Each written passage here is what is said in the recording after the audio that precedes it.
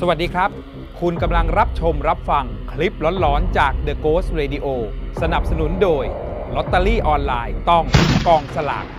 .com คุณดิวมาพร้อมกับเหตุการณ์ที่เกิดขึ้นกับตัวของคุณดิว แล้วก็ลูกพี่ลูกน้องครับ ขณะชวนกันไป ไปยิงไก่แหละ ไปยิงไก่ในป่าช้า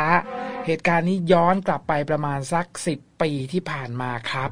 มาพร้อมกับเรื่องป่าช้าป่วนมาติดตามฟังเรื่องนี้ เป็นสายที่เจ็ดกันเลยครับ สวัสดีครับ คุณดิว สวัสดีครับ ครับ ผมคุณดิวตอนนี้โทรศัพท์มาจากแถวไหนครับเนี่ยโทรมาจากจังหวัดกาญจนบุรีครับ อยู่ที่กาญจนบุรี ฝนตกไหมฮะวันนี้ ไม่เลยครับ อากาศร้อนทั้งวันร้อนทั้งวันเลย เมืองการนี่เขาขึ้นชื่อว่าร้อนอยู่แล้วนะครับโอ้ผมหน้าร้อนนี่แบบสุดๆเหมือนกันนะฮะร้อนสุดยอดเลยครับเออ คุณดิวกับผมนี่เคยคุยกันแล้วหรือยัง ยังครับนี่ครั้งแรกเลยครับ และปกติอยู่ที่นู่นเนี่ยติดตามฟังสดหรือว่าย้อนหลังเป็นหลัก ย้อนหลังจะส่วนมากครับส่วนมากจะเป็นย้อนหลังนะครับมาครับ คุณดิวมาว่ากันถึงเรื่องนี้เหตุการณ์เนี้ยมันย้อนกลับไปประมาณสักสิบปีที่ผ่านมา ตอนนั้นเนี่ย คุณดิวกับลูกพี่ลูกน้อง ชวนกันไปยิงไก่ป่า ใช่ครับ ในป่าช้า มันเป็นป่าช้าเก่าครับเออป่าช้าป่วนที่ว่านี้ วันนั้นไปเจออะไรมาคุณดิวครับ คือเรื่องมันเกิดเมื่อประมาณสิบปีที่แล้วครับณจังหวัดปราจีนบุรีคือจังหวัดปราจีนบุรีเป็นบ้านเกิดผมเองครับ ครับ ครับผม มีวันหนึ่งลูกพี่ลูกน้องผมคนหนึ่งเขา มาที่บ้านครับแล้วเขามาชวนผมว่าวันเนี้ยว่างเปล่าครับประมาณสองทุ่มเดี๋ยวเราไปยิงไก่กันครับ เราก็ตกลงกันว่าโอเค เดี๋ยวสองทุ่มประมาณทุ่มกว่าๆเดี๋ยวเราเตรียมอุปกรณ์อืมพอเราเตรียมอุปกรณ์เสร็จเดี๋ยวเราก็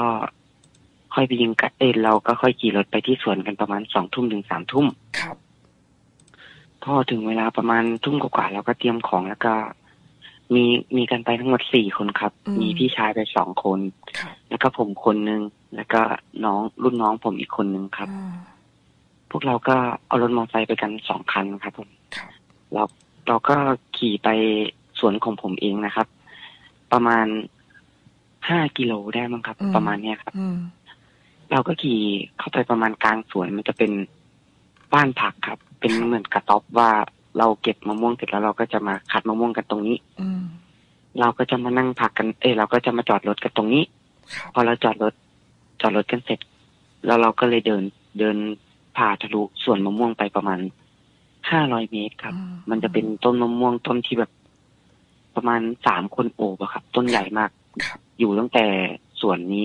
ปลูกครั้งแรกอะครับอ่าพวกเราก็เดินผ่านต้นไม้ต้นนี้ไปปกติไม่มีอะไรเกิดขึ้นครับครับ พอพวกเราสี่คนเดินเข้าไปในบริเวณป่าชเออป่าช้าอ่าครับผมมี เราเดินเข้าไปได้สักพักหนึ่งครับมีพี่ชายคนหนึ่งครับ อยู่ๆเขาก็สะดุดอะไรไม่รู้ครับล้อืมมอืมพอเขาสะดุดอะไรไม่รู้ล้มแล้วเขาลุกมาด้วยความโมโหอะครับครับเขาก็เลยเตะไปสิ่ง เออสิ่งเนี้ย สิ่งที่ทำให้เขาล้มเนี่ยเตะเข้าไปเต็มแรงเนี่ยครับอ่าอ่าแล้วไอ้ สิ่งเนี้ยมันก็เลยกระเด็นมาทับต้นไม้ครับอ่าอะพวกเราก็ไม่ได้สนใจอะไรกัน เราก็เลยถามว่าโอเคเป็นไรเปล่า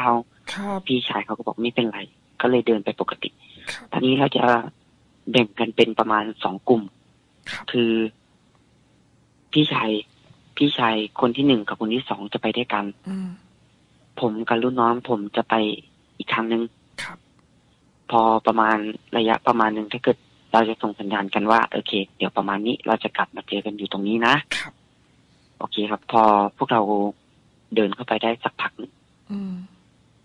ก็ถึงประมาณน่าจะประมาณราวๆเที่ยงคืนตีหนึ่งนะครับ ประมาณครับเนี้ยครับพวกเราก็ได้ไก่กันมาสักประมาณตัวสองตัวแล้วล่ะครับ เราก็เลยเดินมาอืมกันที่จุดนัดพบครับพอพวกเราเดินกันมาจุดนัดพบเสร็จปั๊บเราก็เดินออกทางเดิมมาครับอ่าครับผม พอเราเดินออกทางเดิมเนี่ย เราใกล้จะถึงทางออกแล้วครับ มีพี่ชายคนที่สะดุดล้มอะครับอืมเขาก็เกิดปวดปัสสาวะอ่า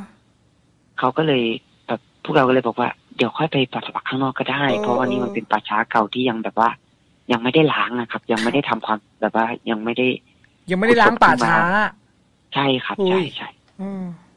พี่เขาบอกผมไม่เป็นไรหรอก ก็เออเดี๋ยวตรงนี้แหละไม่ไหวแล้ว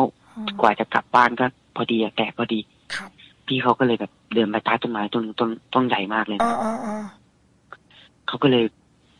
ปัสสาวะอ่าทำพวกเราก็ยืนรอเอาพอพวกเขาปัสพอเขาปัสสาวะเสร็จพับเราก็เดินออกไปจากป่าช้าเนี่ยครับอืมไปถึงต้นมะม่วงต้นที่ที่ผมบอกอะครับ ครับ ต้นประมาณสามคนโอบอะครับหูใหญ่มาก ใช่ครับ มันเป็นอืมมะม่วงต้นแรกเลยที่เราปลูกสวนครั้งแรกอะครับครับ คือหน้านั้นเป็นหน้ามะม่วงครับ พี่ชายคนคนแรกผมอะเขาเลยถามว่าเออเขาเลยบอกว่า เดี๋ยวเราอะเก็บมะม่วงไปกินกันไหมอืมพรุ่งนี้เราจะได้ไม่ต้องเข้ามาในสวนอีกครับ พวกเราก็เลยบอกโอเคงั้นก็ เดี๋ยวเราเก็บ เก็บมะม่วงกันก็ได้อืมแต่เอ้ยผมเล่าข้ามไปตอนหนึ่งครับ ครับ คือระหว่างทางที่เราเดินมาต้นมะม่วงเนี่ยไอพี่ชายคนที่เขาปัสสาวะในป่าช้าครับอืม เขาหันหน้าแบบว่า มองซ้ายมองขวาทีอืมหลังที่เหมือนเหมือนเขาเห็นอะไรอย่างเงี้ยครับครับ พวกเราก็เลยถามว่าเฮ้ยเป็นไรพี่เป็นไรเนี่ย พี่เดินทำท่าลึกลักลึกลักพี่เขาก็บอกว่าเอ้ยไม่เป็นไรไม่เป็นไรเดินต่อเลยรีบกลับดีกว่าครับรู้สึกยังไงไม่รู้เขาบอกเนี่ยอืมพอมาถึงใต้ต้นมะม่วงเนี้ยพี่ชายสองคนเขาเลยตกลงกันว่า ให้ผมกับน้องชายคนหนึ่งขึ้นไปเก็บ เดี๋ยวเขาสองคนอะ จะส่องไฟให้ครับ พอผมสองคนขึ้นไปประมาณถึงกลางต้นมะม่วงนะครับ ก็แยกกันซ้ายขวา น้องชายผมจะไปเก็บด้านซ้ายอืมผมจะไปเก็บด้านขวาครับไอพี่ชายคนที่ปัสสาวะครับเขาส่องให้น้องชายผมอีกคนนึงอืมแล้วผมพี่ชายคนหนึงส่องไฟให้ผมอีกคนนึงครับ เพื่อจะไม่ให้เกิดอุบัติเหตุการตกต้นไม้นะครับ ครับ เราก็เก็บไปได้สักพักหนึ่งอืมพี่ชายคนนี้ก็ทำแบบพี่ชายคนที่ปัสสาวะในป่าช้านะครับเขาก็ทำหน้าลึกลักลึกลักตลอดเวลาเลยนะคอืรับมอืมอืมส่องไฟแบบส่องไฟไปซ้ายทีขวาทีครับจนน้องชายคนที่อยู่ข้างบนนะครับ ที่เขาส่องไฟให้ต้องตะโกนลงมาบอกว่าครับพี่ส่องดีๆหน่อย ผมมองไม่เห็นลูกมะม่วง ผมอ่าเก็บไม่ได้อืมพวกเราก็ผมกับพี่ชายคนหนึ่งก็สงสัยแหละเออพี่ชายคนนี้เป็นไรวะครับพ วกเราพูดในใจอะนะครับแต่เรารู้เรามองหน้ากันเรารู้นะครับอ่าแล้วสักพักเนี่ย พอไอ้พี่ชายคนเนี้ยส่องไฟลงมาข้างล่าง ไปด้านซ้ายดีกว่าทีพอ แต่เนี้ยส่องขึ้นไปให้น้องผมข้างบนนะครับอ่าอยู่ๆเขาก็ทำท่าแบบตกใจอะครับเออคือเขาส่องส่องให้น้องที่อยู่ข้างบนนะครับครับเขาเห็นเขาทำท่าตกใจแล้วเขาก็วิ่งหนีไปเลยครับ อืม ครับ พวกเราก็ตกใจเฮ้ยเป็นไรวะครับ คือแบบอยู่ๆเขาก็วิ่งหนีไปอะ คือน้องน้องผมไอคนที่อยู่กิ่งด้านซ้ายอะครับหน้าเสียแหละเริ่มแบบว่าเออ ผมก็เลยกดมือบอกเอ้ยเดี๋ยวลงก่อนเดี๋ยวพี่เก็บเองก็ได้อืมน้องเขาก็ค่อยปีนมาอยู่กลางต้นเขาบอกอืมเออไม่เป็นไรพี่เดี๋ยวผมนั่งรอพี่ตรงนี้ก็ได้ครับไอพี่ชายคนไอพี่ชายคนข้างล่างผมอีกคนหนึ่งอะครับเขาก็เลยส่องไฟตามพี่ชายคนที่วิ่งไปอะเอออื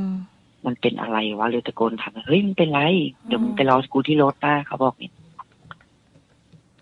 ครับผมครับพอเขาส่องไฟมาให้ผมอีกทีหนึ่งอะอืมเขาทำหน้าแปลกๆอะครับ แล้วเขาขยี้ตาอ่าครับตอนนี้เขาไม่ได้ส่องไฟให้ผมแหละเขาส่องไฟไปที่ประมาณ เกือบยอดต้นมะม่วงนะครับ แล้วตอนนี้อยู่ๆเขาก็แบบตะโกนโวกเวกโวยวายร้องเลยนะครับอ่าอ่า แล้วเขาก็วิ่งตามไอ้พี่ชายคนที่คนคนแรกที่วิ่งไปอะครับครับเขาก็วิ่งตามกันไปครับ ผมกับน้องชายผมตกใจแล้วตอนเนี้ย ผมเลยแบบเฮ้ยเดี๋ยวเดี๋ยวเดี๋ยวน้องลงไปก่อนเลยเดี๋ยวพี่ลงตามให้น้องเสียสละให้น้องมันลงไปก่อนนะครับอ่าตอนนี้น้องมันเลยแบบสงสัยมันเลยเงยหน้าขึ้นไปดูครับน้องมันก็ตกใจอีกตอนนี้มันมันไม่ลงธรรมดาแล้วครับ มันกระโดดลงเลยครับตอนเนี้ยอ่ามันมันสูงมากเลยนะครับ ประมาณ สามสี่เมตรอะแต่ว่ามันสามารถกระโดดลงแบบ ไม่มีความเจ็บปวดเลยมันวิ่งตามพี่ชายผมไปเลยครับ แต่ว่ากุญแจรถมันมีอยู่สองคันใช่ไหมครับอืม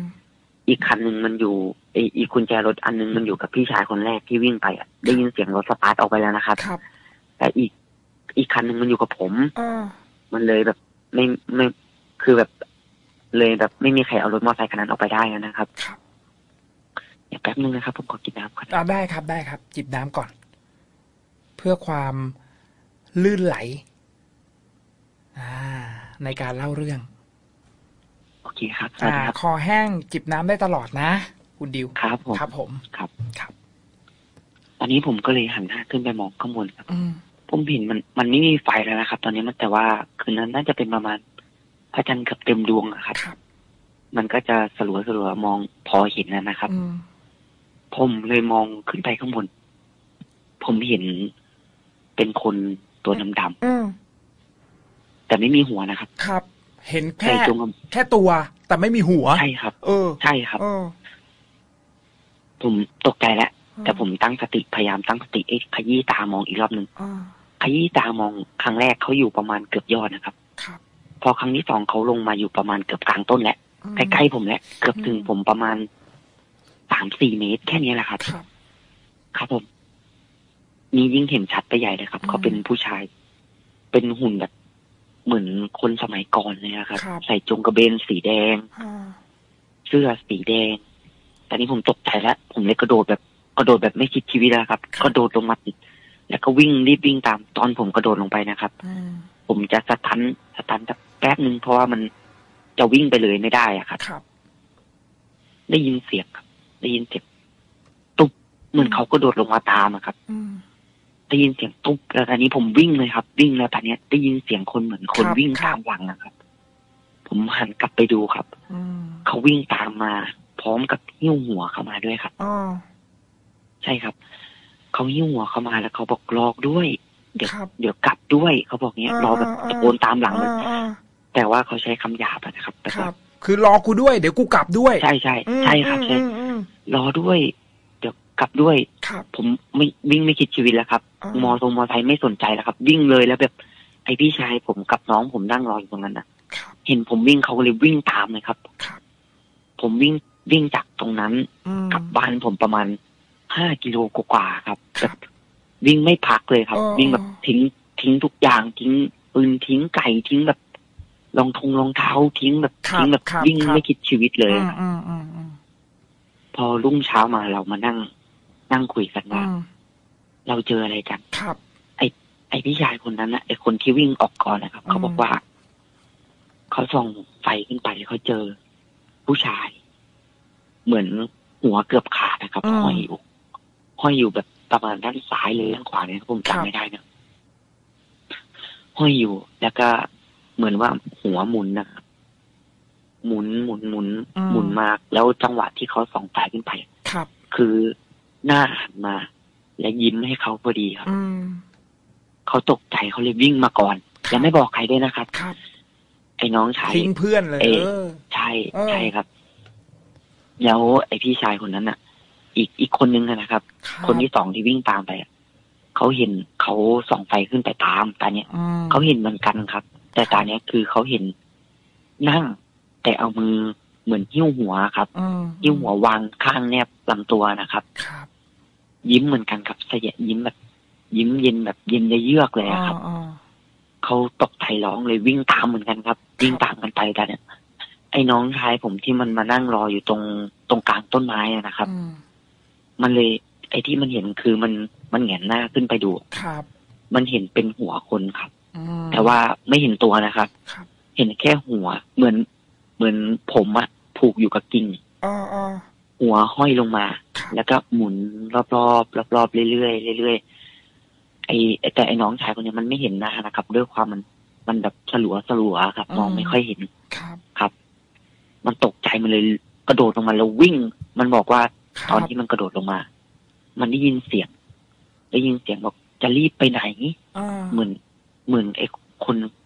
คนนั้นน่ะไอ้ตัวนั้นน่ะครับตะโกนถามเขาว่าจะรีบไปไหนอืมน้องชายผมตกใจเขาเลยวิ่งไปก่อนครับ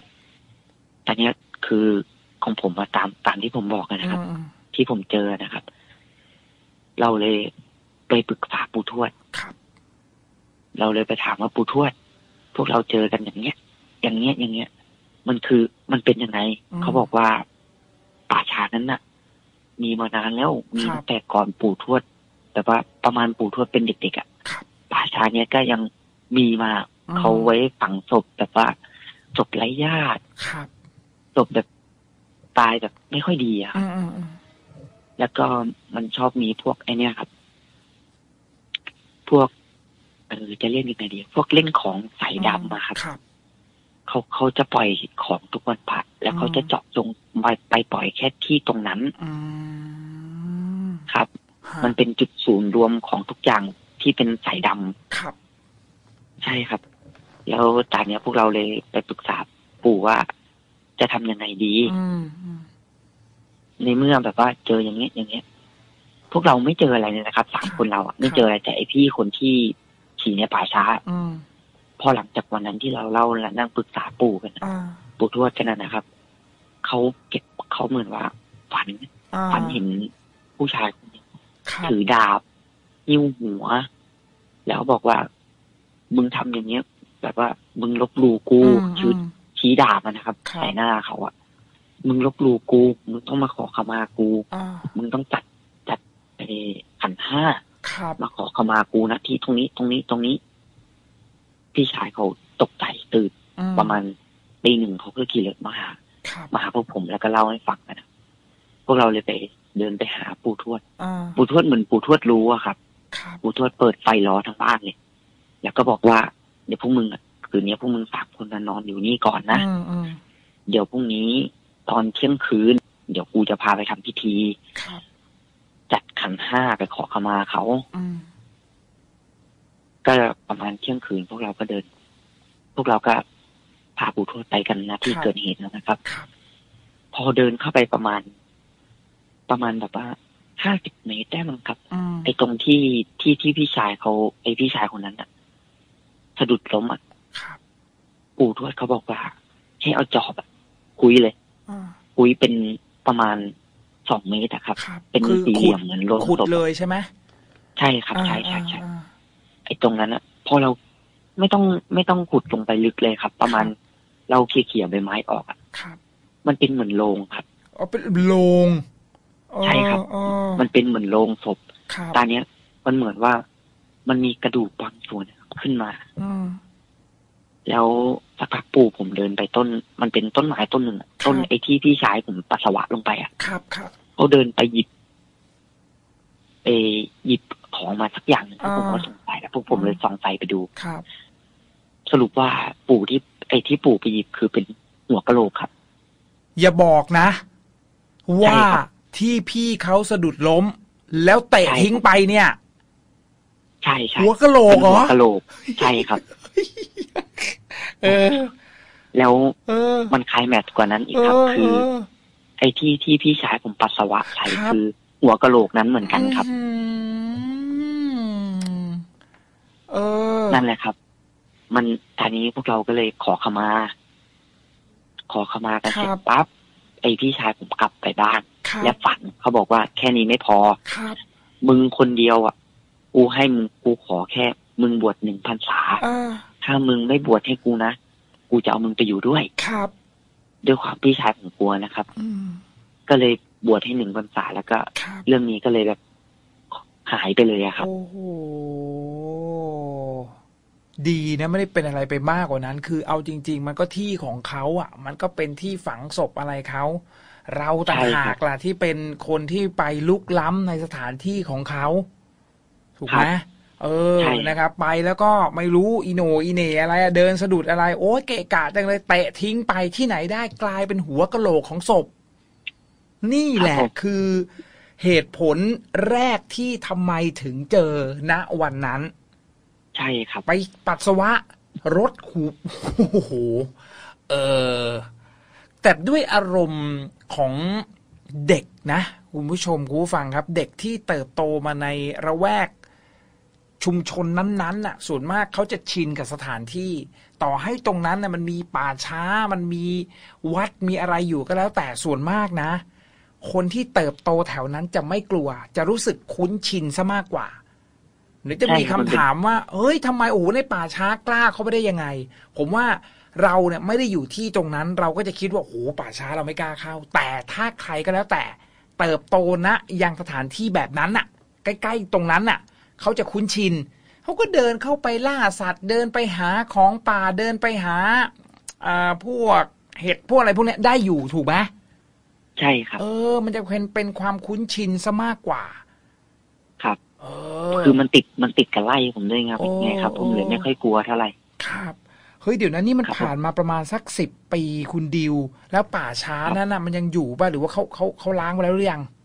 ตอนตอนนี้ก็ยังอยู่ครับไม่มีใครกล้าเข้าไปล้างครับ ไม่ล้างป่าไม่มีช้าเลยเหรอ ใช่ครับ ไม่มีใครกล้าเข้าไปครับ โอ้โหมันเป็นตอป่านนี้นะครับป่าช้าโบราณแล้วตรงนั้นมันมีวัดอยู่ใกล้ๆไหมอะคุณดิว เป็นเป็นวัดเก่าครับ ประมาณ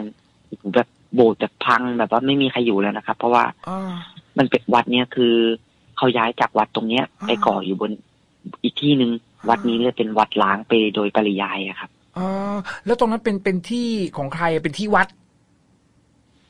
น่าจะเป็นที่ของวัดนะครับอืมแต่ว่าตรงป่าช้านั้นน่ะอืมคือเป็นที่อยู่ในละแวกเดียวกับ คือเป็นโฉนดผืนเดียวกับไร่ของผมอะไรเงี้ยครับโอ้โหเฮ้ย เดี๋ยวนะ คือเราเป็นเจ้าของที่ป่าช้านั่นถูกป่ะใช่ครับใช่เฮ้ยต้องล้างออกนะ เนี่ยแหละครับ ผมกำลังปรึกษากับคุณแม่อยู่ตอนนี้ ต้องหาแบบเจ้าพิธีก่อนอันดับแรก ใช่ มันเป็นที่เราไงบอกว่าพอใช่เราถือโฉนดเป็นที่เราแล้วมีศพอยู่ฝังอยู่ในที่เราจำนวนเยอะๆอะ ผมว่าต้องเอาอผอมกว่านะเยอะเลยแหละครับ ใช่โอ้คือนะครับในสวนมะม่วงผมนะครับ บางทีแบบว่าตอนที่เราขุดหลุมปลูกมะม่วงเนี่ยนะครับ ครับ บางทีขุดไปขุดมาเจอโครงกระดูกก็มีนะครับเหรอแบบโครงเป็นคนเลยอะครับ แบบขุดลงไปเขี่ยๆแบบซอค่อยๆสออืมตามร่องตามร่องเนี่ย คือทุกอย่างครบหมดครับอืมแขนขา หัวกะโหลกมืออมนิ้วอืมฟันเฟินเห็นหมดเลยอะอื้อหือ แต่ว่าถ้าเกิดเราขุดเห็นปั๊บเราก็จะเอาไปชาวปนกิจทำบุญนะนะครับแบบว่าทำบุญให้เขาชาวปนกิจ เออให้ก็เขาดีอะครับก็ถือว่าทำสิ่งที่ถูกต้องแต่ถ้าจะจะให้ดีนะ ผมว่าอย่างน้อยที่เราอะ เราก็ไม่รู้มันต้องใช้งบประมาณมากน้อยขนาดไหนนะมันมันก็ต้องใช้ใช้เงินอยู่ดีถูกไหมครับในการล้างป่าช้าคือถ้าบอกว่าโอ้โหศพจำนวนเท่าไหร่ก็ไม่รู้เนี่ย เดี๋ยวนะ ตรงส่วนที่บอกว่าเป็นป่าช้าเนี่ย ประมาณสักกี่ไร่คุณดิว ประมาณสักประมาณน่าจะสิบไร่เนอะโอ้เพราะว่าโฉนดโฉนดที่ถือมันประมาณสามสิบไร่ เราปลูกมะม่วงไปประมาณยี่สิบไร่อะคือไอ้ตรงที่เป็นป่าช้าที่บอกว่าประมาณสิบไร่เนี่ยมันอาจจะกินมาในในส่วนเกินอีกเท่าไหร่ก็ไม่รู้ถูกป่ะ ใช่ครับโอ้ใหญ่มากว่ะเฮ้ยต้องต้องมันน่าจะประมาณราวๆเป็นพันๆเหมือนกันนะครับศพอะโอ้โห เอามันมีเรื่องเยอะกว่านี้อีกนะครับ แต่ว่าอืมคืออันนี้เรื่องแรกผมมาเล่าครั้งแรกผมยังตื่นเต้นโอ้โหเดี๋ยวครั้งต่อไปเดี๋ยวผมจะเล่าเรื่องอันเนี้ยครับ ผมขอฝากเลยนะครับได้ครับผมขอได้ครับเกรินเลยดีกว่าได้ครับ เป็นเรื่องเกี่ยวกับสายดำกับสายขาวครับอืแล้วผมอยู่ในเหตุการณ์นั้นด้วยครับณที่ป่าช้าตรงนี้ด้วยครับ ที่นี่เลยใช่ไหมใช่ครับ แล้วก็สี่อ๋อแสบนี่เหมือนกันครับ สี่แสบนี่แบบโอ้ สี่แสบนะคือมีพี่ชายผมสองแล้วครับ ผมครับแล้วก็รุ่นน้องอีกนะครับ ไอ้สี่แสบนี่แหละครับไอ้ครับตัวปัญหา ได้เลยคุณดิว เพราะฉะนั้นเดี๋ยวครั้งหน้าคุณดิวสะดวกเมื่อไหร่ก็ติดต่อมาที่ทีมงาน แต่ในระหว่างเนี้ยหมายถึงว่าตัวของคุณดิวกับครอบครัวก็พยายามที่จะปรึกษากันอยู่ใช่ไหมครับ ว่าจะทำยังไงกับที่ตรงเนี้ยที่บอกว่ามันเป็นป่าช้าแล้วมันเป็นที่เราอะ่ะ เราจะเคลียร์เรื่องนี้ยังไงคือหลายคนใช่ครับบอกว่าเราปล่อยไว้เขาอาจจะให้คุณกับเราก็ได้นะ เฮ้ยเอาความเป็นจริงก่อน เผื่อเราต้องการใช้พื้นที่ตรงนั้นน่ะ เราก็ต้องมีการเคลียร์ศพออกอยู่แล้วถูกไหมครับ เออ ลองปรึคืกอษาป่ามูช้าลนินั้นธินะครับ วันดีคืนดีอะอืมแบบประมาณวันพระนะครับครับ จะมีได้ยินเสียงแบบ เหมือนคนสู้กันนะครับ ได้ยินอ๋อเสียงดาบออกมาได้ยินเสียงดาบแบบเป้งปงเป้งออกมาจากป่าช้านั้นดังนะครับโอ้โหเพราะว่าผมเคยไปนอนเฝ้าสวนนะครับอ๋อบางบางทีจะได้ยินเสียงเหมือน เด็กร้องไห้ครับจะคเป็นรับแบบ เหมือนเด็กทารกอะครับร้องอืมเอออกมาจากป่าช้านั้นเลยอะครับ ครับ โอ้ยเฮ้ย คุณดิวลองปรึกษามูลนิธิใกล้ๆบ้านดู ครับ นะผมว่าต้องลองปรึกษาครับผมเอใช่อยังไงเดี๋ยวลองก็ถ้าลองชาปนกิจเขาซะหน่อยก็ดีเหมือนกัน คือทีเดียวอาจจะไม่หมดหรอก ผมว่านะ อาจจะต้องใช้เวลา